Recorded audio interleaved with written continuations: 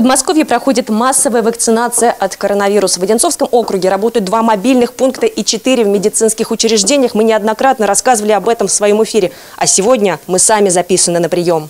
Специальная подготовка не требуется. За три дня отказаться от горячительных напитков и не ходить в сауну и баню. Все, как рекомендуют специалисты.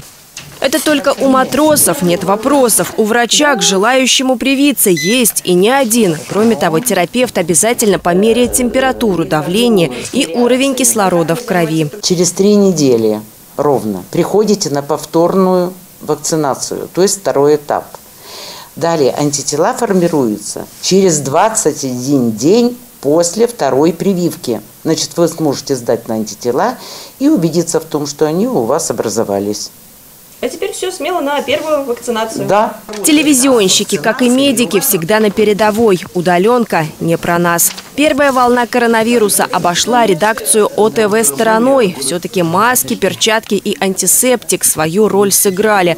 Во вторую контакта с COVID-19 избежать не удалось. Поэтому, долго не раздумывая, те, кто не переболел, решили привиться. Мы всегда э, в движении, мы посещаем общественные места и, безусловно, здоровье для нас на первом месте. Поэтому мы за вакцинацию. Э, к нам присоединились к редакции и сотрудники телерадиокомпании «Одинцова». Это наши монтажники, это строители. Но это, опять же, все те люди, которые очень много общаются с, э, с другими людьми. Сегодня мы будем вас прививать против новой коронавирусной инфекции. Вакцина называется гамковид-вак. Первый, первый компонент, то есть через 21 день придете за вторым повторно. Непривычно быть героиней собственного сюжета.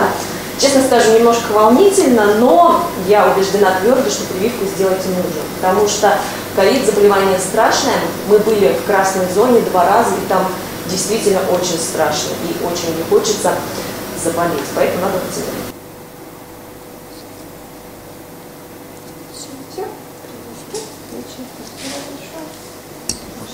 Ну вот и все. Первый компонент вакцины «Спутник Ви» мне ввели. Уверена, что все будет хорошо. У Айки очень, правда, легкая рука. Всем советую. После прививки может ненадолго подняться температура выше 38. Советуют сбить любым жаропонижающим. Если место укола начнет чесаться, можно принять антигистаминный препарат. Кстати, сразу после введения вакцины отправиться домой не получится. Медики советуют оставаться в поликлинике еще около получаса. Чувствую себя нормально, так же, как до прививки, никаких изменений. Великолепно себя чувствую, как будто ничего не делал. Очень голова не кружится, ничего не происходит? Нет, голова не кружится, ничего не происходит.